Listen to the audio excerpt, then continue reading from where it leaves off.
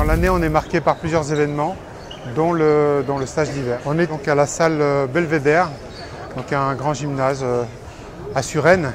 On attend à peu près 400 personnes. Les stagiaires sont répartis en, en 7 niveaux, euh, du plus débutant au plus confirmé. On a en, fait 7 groupes, jaune, orange, vert, bleu, marron, noir, première, deuxième darga, troisième, quatrième darga. Et euh, je supervise l'ensemble. Chacun va travailler avec son groupe et donc le niveau qui lui correspond.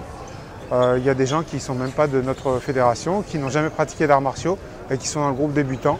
Et d'autres qui pratiquent depuis 15 ans ou 20 ans et qui sont déjà euh, ceinture noire, troisième ou quatrième darga. Tu me donnes gauche et tu, te remets avec, avec noir gauche et je me redéplace et gauche.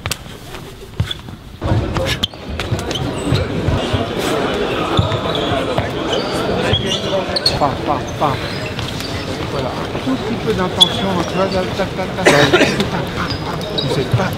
Tout le monde a de quoi euh, travailler selon son niveau. Donc, euh, comme je l'ai dit plusieurs fois, par euh, soit petit niveau, soit moyen, soit plus grand.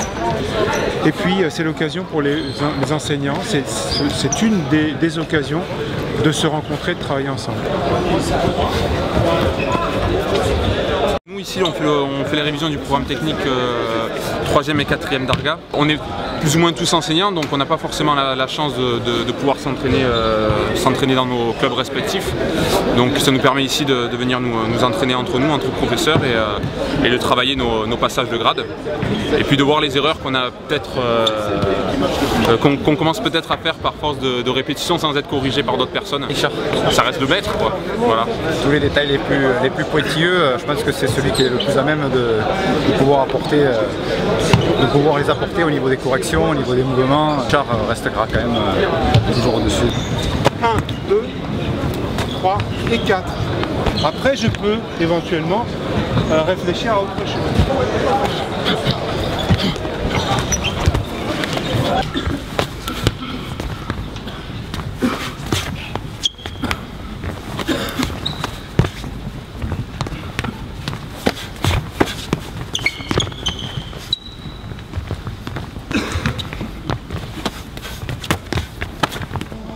Du moment où on attaque, on prend parfois un avantage, mais toujours en se mettant en danger. Là, c'est un danger relativement important, puisque les coups de pied sont hauts, et donc le risque de se désunir est plus grand. Je travaille, je suis en garde, bon, je reste en garde. C'est un stage in- international. C'est-à-dire qu'on a des gens qui viennent d'Italie, d'Espagne, de Suisse, de Portugal et autres, euh, même de Finlande. C'est une manière de se réunir. C'est un partage, c'est un échange d'informations. On a tous des bases communes. Cependant, chacun va apporter une petite touche, une petite note, qui va faire progresser l'ensemble, qui va faire évoluer la discipline. Ce mélange est excellent. C'est au moment où je suis en haut qu'il avance. Parce qu'au moment où je suis en haut, je suis obligé de faire ça. Je ne vais pas arrêter en haut. Je vais, je vais être poursuivi par l'élan. D'ici. 1, 2, 3. Oui, là c'est bien. De nouveau. 1, 2. Voilà. Euh, ne commence pas à avancer avant d'avancer. Parce que sinon j'arrête. J'arrête, je hop, recule et je reprends. Ici. Bam, bam, bam. Ah, trop tard. 1, 2, 3. Maintenant. Super. He's, he's very knowledgeable, and what he teaches is real.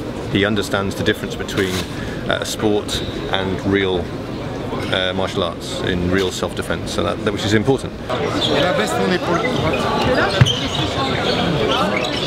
Là, j'ai ici, j'ai aucun contrôle. Et là, je là, je suis super bien. Là, j'ai tout. Donc le, Krav Maga est composé de principes très importants, des principes, des principes qui ont été euh, vraiment mis au point par Emil Hertenfeld. Et ces, ces principes sont à double tranchant parce qu'ils nous permettent une grande liberté, mais la liberté ne peut pas, euh, ne peut pas être euh, bénéfique si elle n'est pas accompagnée de rigueur et de connaissance.